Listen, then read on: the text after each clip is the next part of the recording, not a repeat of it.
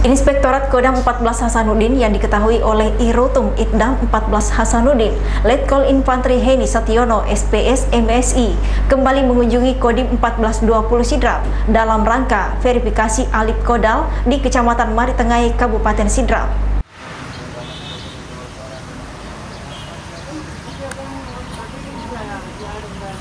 Kunjungan tim verifikasi ini disambut langsung dan di 1420 Sidrap, Letkol Infantri Eko Pasca HN.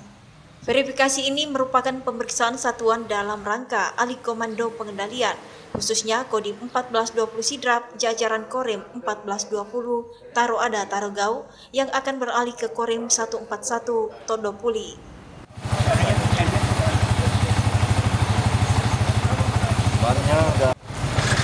Alih kodal ini merupakan upaya penataan organisasi TNI Angkatan Darat yang dilaksanakan atas dasar konsep pertahanan negara di mana alih kodal tersebut bertujuan untuk mengefisienkan kendali komando kewilayahan serta pelaksanaan tugas pokok secara optimal.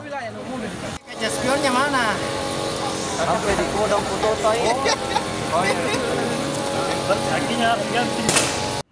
Dan di 1420 Sidrap, Letkol Infantri Eko Pasca HN mengatakan, kegiatan ini merupakan pemeriksaan dari komando atas untuk Kodim 1420 Sidrap sebelum beralih ke satuan jajaran Korim 141 Todopuli.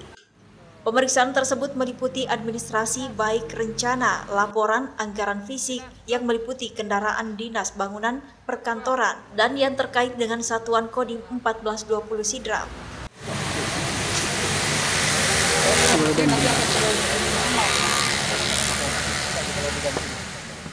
Untuk diketahui Kodim jajaran Korem 142 Tatak yang akan beralih ke Korem 141 Todopuli meliputi Kodim 1420 Sidra, Kodim 1421 Pangkep, Kodim 1405 Malusetasi, serta Kodim 1414 Pinrang di mana akan dilaksanakan upacara alih kodal di Makodam 14 Hasanuddin. Erwin Parolai melaporkan. Jangan ke mana-mana pemirsa, kami akan kembali dengan informasi menarik lainnya. Tetaplah bersama kami.